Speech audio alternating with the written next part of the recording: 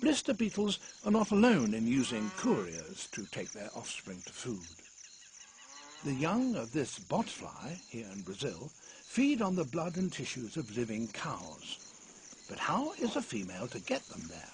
She is a big insect, so big that cows would notice if she landed on them and would probably flick her off. She needs a lightweight courier. A housefly, a fraction of her weight. That will do nicely.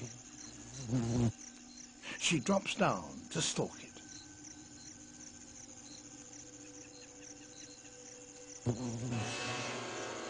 She got it.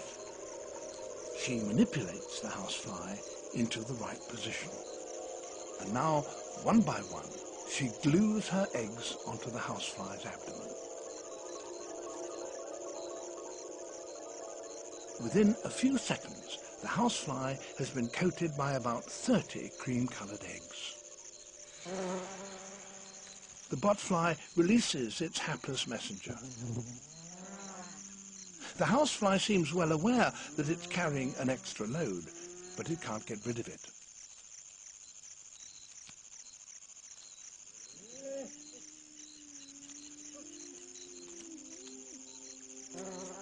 So it goes back to its normal business, which includes visiting cows to drink their sweat. A small fly, unlike the lumbering botfly, is no real irritation and is able to feed largely unhindered.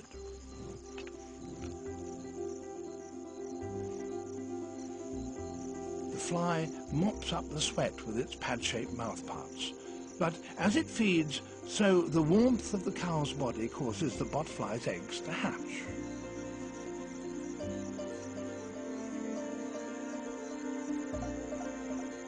The larvae are armed with tiny hooks which help them to get a grip on a cow's skin and bore into it.